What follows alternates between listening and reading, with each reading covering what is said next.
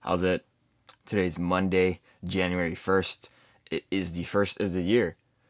And that means everything I do today is a 2024 PR, including me almost tripping there. Um, yeah, time perspective is a weird thing.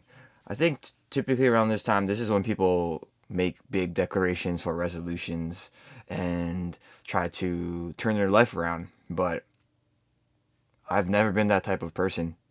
I've always been the type of person to make the change that needs to happen now.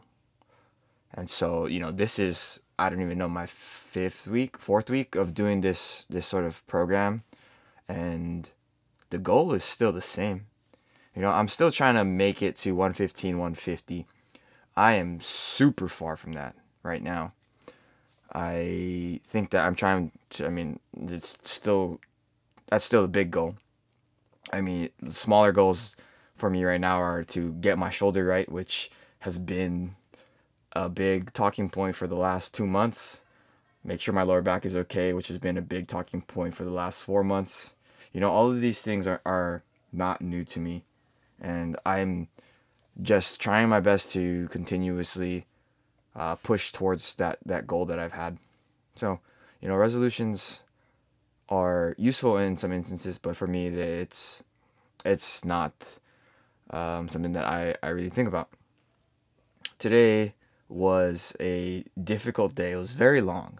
So snatch, push, press plus overhead squat as my first movement, and we're doing this compounding volume thing. So what is it? Four weeks ago, 100 was my top set, and so I'm gonna use that as my as one of my warm ups. You know, the week after that was 103. The week after that was 106. And this week is the week after 106. So that's 109. So I'm trying my best to keep all of the sets in there. And they're all meaningful sets. You know, typically you, you might think about your warm up sets as your second to last warm up might be the only meaningful one. But at 100, you know, it's challenging. Oh, I just, that bar just landed on my neck. Um, but yeah, it's challenging already starting at 100. So every single set after that is meaningful. So it's basically like I did four top sets that just get incrementally harder. And I'm very happy that I was able to make it through all of them. I mean, I don't know what my personal best is, 3 plus 1, but I imagine 110 is pretty close to it. So 109 is is not 110, but it, it's it's still close to it. This is my set at 109. And for what it's worth, you know, my shoulder isn't giving me the issues that I had anticipated it would. Like the reason why this lift or this set or these these weights are are hard is not due to my shoulder. It's more so everything else. Where it's like if if I don't have the proper leg drive, like even this overhead squat is challenging. You know, uh, my overhead stability is not where it used to be, and I think that that is a function of my shoulder being the way it is. But Everything else is like just hard. I, I don't know how else to say it. Um, so I'm pretty happy that I did 109, no no misses on that. After that, I planned to do the power snatch plus hang power snatch, so like one plus threes up to 79 for three sets of 79. But same idea with the compounding volume, where I would start with like my last couple warm ups would be 70, 73, and then 76. But at like 60, I was like, yo, this has been a long ass training session, and I don't know if I'm gonna even be able to do one set at 79. So I made an audible. I called an audible. I did an audible. Yeah, I I changed it to just do one single top set um, at 79. And I'm happy that I did that because it was challenging. I wasn't able to power snatch all of my hang powers on that one. And like even the set before that 76 i did not i did not make one of the reps. It was kind of a fail. I i would i would call that a fail but i don't want to say that i've already failed on the first day of the year.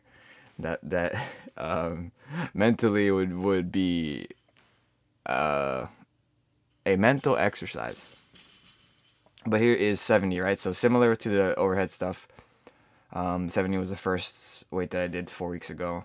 Then 73, 76, 79. Yeah, I don't need to go over it again. I think at this point in the training session, I am just really just trying to get through the reps.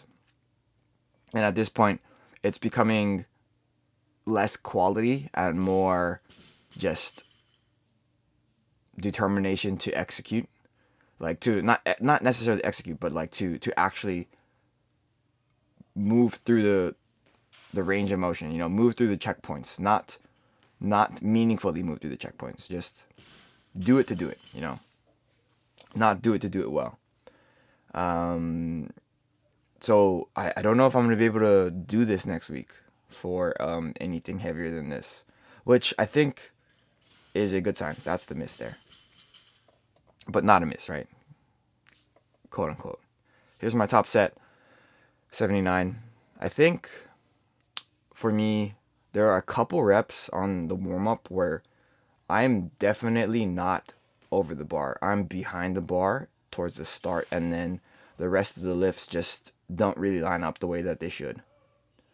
Uh, you'll see this here. This is going to be a definitely not a power, but it's also not a full snatch. Um, uh, yeah, it's it is what it is. You know, 79 is pretty heavy for me. That's to do like four reps of a power. I think I don't know if I would be able to even do four reps at a 79 from the ground,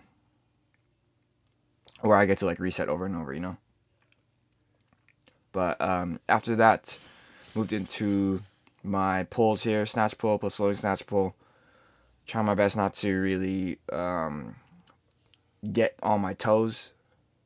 I've said this, I think, almost every time I do these, but I don't know. If it's your first time watching this, then this would make sense as to as an explanation as to why I lifting this way. I think that um, getting to plantar flexion, basically like getting on the toes like a calf raise, is probably the easiest part of the lift.